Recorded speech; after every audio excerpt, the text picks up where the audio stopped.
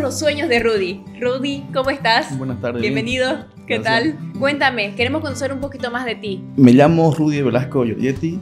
Soy papá de tres lindos niños. Soy papá soltero hace siete años. Si tuvieras un sueño que realizar a corto plazo, o sea, un sueño para allá, ¿cuál sería?